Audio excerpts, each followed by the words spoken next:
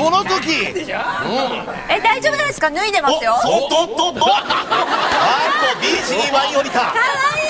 編集やりますがそうまじないうわちょっとちょっとあの何やってんすか何めちゃめちゃ嬉しそうなこれはテンションいやいやテンションえすごいいやなんでそんな半笑いになってるんですかこれはテンションが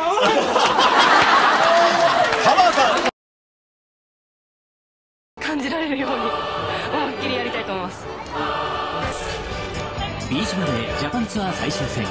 注目の19歳浅尾美和がベスト4に進出。明日初優勝を目指します。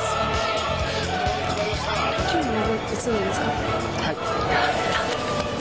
今日は楽しんでやろうって決めててもう思いっきりプレーするだけでした。もう優勝ですビーチバレージャパンツアー最終戦。ファイナルラウンドに進出した19歳の浅尾そして西堀ペア。準決勝でオリンピック出場経験を持つ佐伯徳のペアに対し1セットを奪いますが惜しくも敗退。自身の最高成績に並び3位で今シーズンを締めくくっています。いつも勝ってインタビューだったのでこれからも頑張りますので応援よろしくお願いします。